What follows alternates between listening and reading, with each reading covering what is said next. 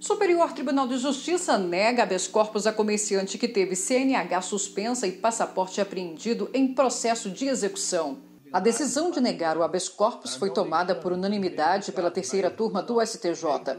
Durante o processo de execução por dívida de aluguéis, a comerciante teve a carteira nacional de habilitação suspensa e o passaporte apreendido. De acordo com o processo, diante da dificuldade de localização da comerciante e realização da citação dela durante a execução por título extrajudicial, foi determinado sem sucesso por duas vezes o bloqueio de valores por meio do sistema Bacenjude. Em agosto de 2018, foi formulado um novo pedido de penhora, também sem sucesso. Assim, em 2019, o juiz deferiu o pedido de suspensão da CNH e do passaporte da comerciante como forma de forçar o pagamento da dívida.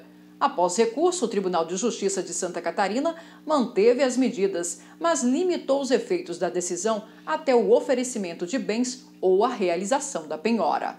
No STJ, a defesa alegou que as medidas seriam ilegais, desproporcionais e arbitrárias, pois somente o patrimônio do devedor deveria responder pelas dívidas.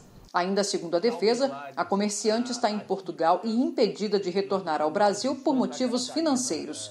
O relator, ministro Paulo de Tarso Sanseverino, lembrou que, de acordo com a jurisprudência do STJ, a adoção de meios executivos atípicos, como neste caso, é cabível desde que existam indícios de que o devedor possua patrimônio expropriável o ministro destacou ainda que a pretensão da devedora de morar fora do país é uma forma de blindagem do patrimônio, não deixando bens suficientes no Brasil para saldar as obrigações contraídas. Dessa forma, segundo o ministro, seriam legítimas e razoáveis as medidas coercitivas adotadas.